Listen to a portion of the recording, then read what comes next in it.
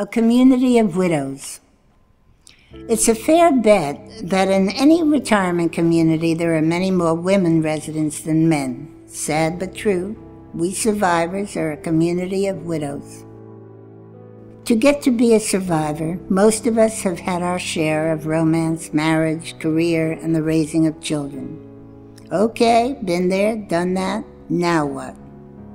What do you do when there is leftover life to live? Where once the core was perhaps a husband and children, friendships were more important, but not the primary bond.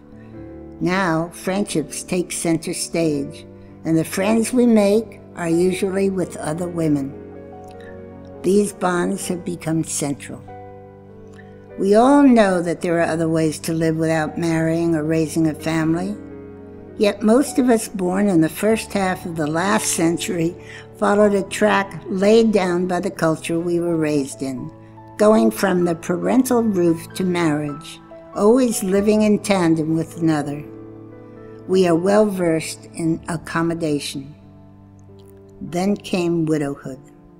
Perhaps for the first time in our lives, we are on our own, responsible to no one but ourselves, no more accommodating.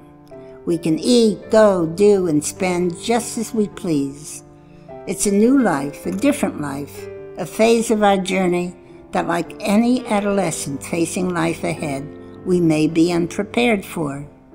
There's a lot to be learned money stuff, for instance, and food shopping for one person, and taking over chores and responsibilities once shared. We learn pretty quick how to maneuver our solitary self around the rocks.